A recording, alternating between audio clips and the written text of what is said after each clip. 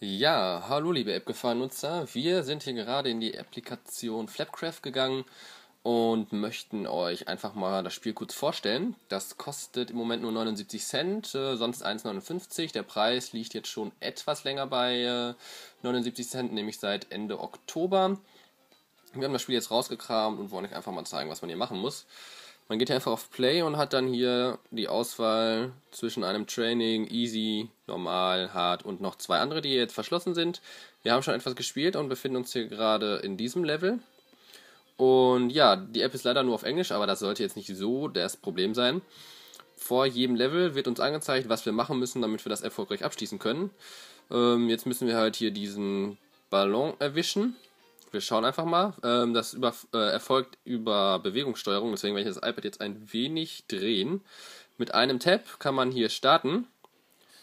Und wir schauen doch einfach mal hier, wo der Ballon ist. Ah, da oben ist er. Okay, wir haben es doch noch geschafft. Es hat gereicht.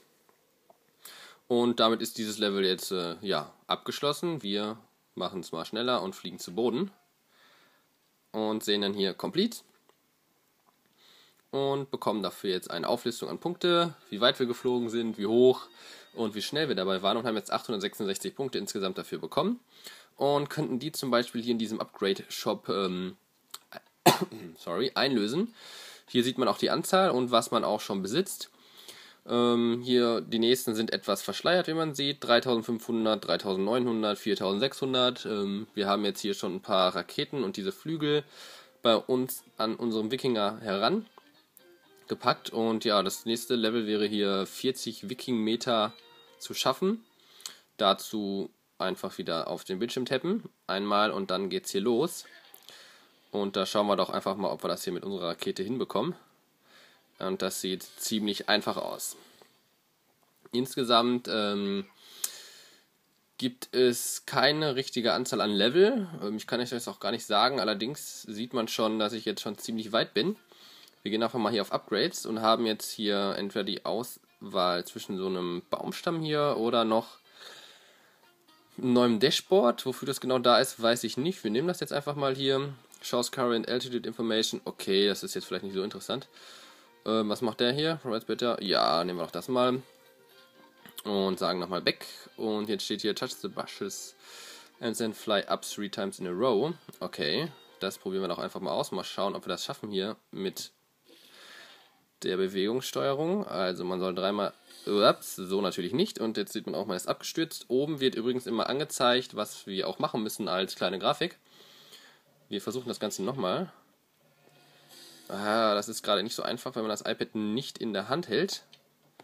Aber wir machen hier mal noch einen Versuch. Okay, einmal haben wir geschafft zweite Mal. Ich hoffe, man sieht auch noch alles. Und das dritte Mal jetzt auch. Und jetzt könnten wir einfach noch ein bisschen weiter fliegen, aber auch jetzt hier, whoops, zu Boden. Denn die Aufgabe wurde erfüllt, complete. Und wir bekommen jetzt eine neue Aufgabe. Wir schauen noch einfach mal, was es hier noch gibt. Find a Sea Monster. Okay. Ähm, wahrscheinlich müssen wir jetzt einfach mal recht weit fliegen, um hier auch irgendwas zu finden wo das auch immer jetzt sein soll. Wir fliegen einfach mal ein Stückchen weiter hier. Vielleicht ist ja gleich irgendwo ein See oder ein Fluss. Und da ist es. Wir mussten einfach nur ein Stückchen weiter fliegen und haben das auch auf Anhieb geschafft. Ganz nett. Ähm, ja, das geht jetzt immer so weiter. Man bekommt immer neue Aufgaben, neue Aufgaben, was man machen muss. Jetzt soll man hier äh, unten die Büsche für 5 Sekunden berühren und da drüber fliegen.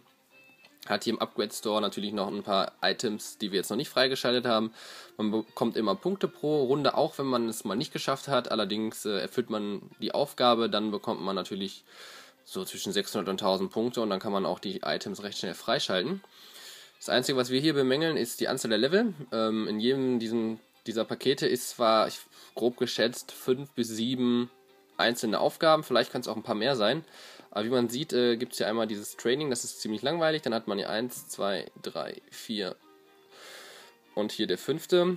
Ja, grob geschätzt 30 äh, Aufgaben vielleicht insgesamt und das ist schon etwas mager. Die Bewertung im App Store ist auch äh, dem ausgelegen, wie wir es hier auch jetzt äh, gerade sagen, etwas wenig Level. Ansonsten wirklich nett gemacht. Die Aufgaben sind anfangs ja ziemlich einfach. Danach kann man mal an manchen Aufgaben etwas äh, hapern oder muss auch mal öfters ansetzen. Die Applikation ist fürs iPhone und fürs iPad, kostet derzeit nur 79 Cent.